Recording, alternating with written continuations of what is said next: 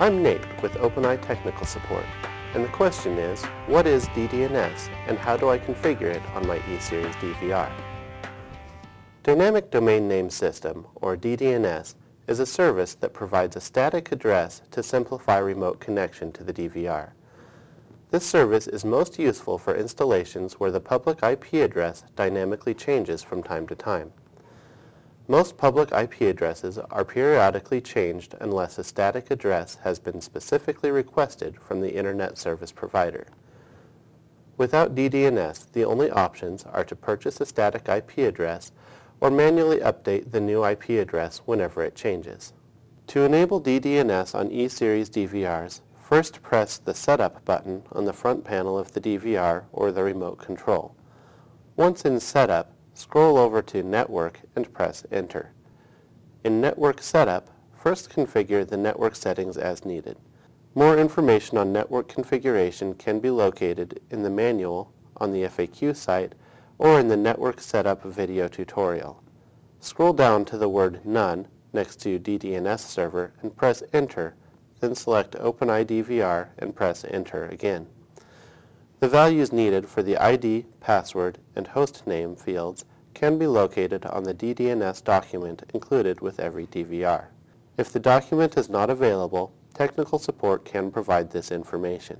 If the DVR is directly connected to a modem, set the router IP to off. If it is connected to a router, it should be on. Once all settings have been configured, select Check and press Enter. If Check returns fail, check the ID, password, and hostname and verify that the network cable and switch, router, or modem have not failed. After DDNS has been configured, the router to which the DVR is connected needs to be configured to forward ports 80 and 2000 to the IP address of the DVR. For further information on this process, please consult the router's manual or contact the router manufacturer's technical support, Internet Service Provider, or OpenEye. You may also visit portforward.com for assistance. As an example, to configure port forwarding on a Linksys router, which is a common brand, first open a web browser on a computer with local access to the router.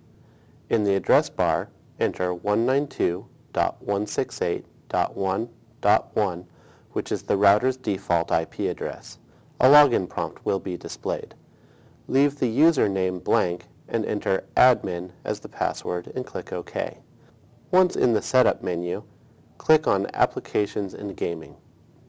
Enter OpenEye as the application name, set the start and end port to 80, then modify the IP address to match the address shown in Network Setup on the DVR. Repeat these steps again for port 2000. Click Enable for both entries, then click Save Settings.